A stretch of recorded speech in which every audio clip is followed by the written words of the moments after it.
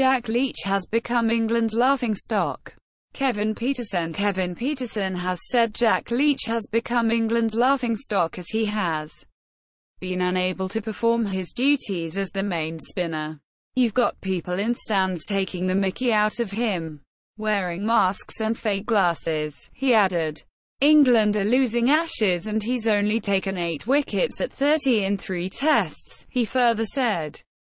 10 Sri Lanka players including Malinga Paul out of Pakistan tour as many as 10 cricketers including Lasith Malinga, Angelo Mathews and Dimuth Karunaratne have pulled out of Sri Lanka's tour to Pakistan due to security concerns. The players were reportedly given a free hand in deciding whether they wanted to travel with the side or not.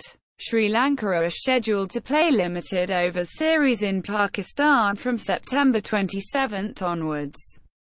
India threatened SL players to opt out of Pak tour. Alleges Pak Minister Pakistan Minister Fawad Chaudhry has accused India of threatening Sri Lankan cricketers to opt out of their upcoming tour to Pakistan. This is really cheap tactic. Jingoism from sports to space is something we must condemn. Really cheap on part of Indian sports authorities, he tweeted. As many as 10 cricketers including Lasith Malinga have opted out of the tour. Why would Rohit get 5 tons in WC?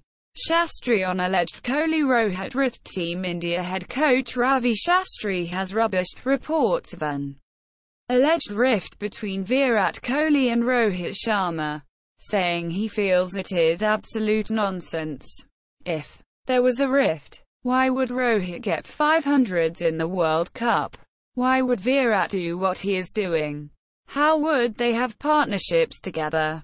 Shastri added.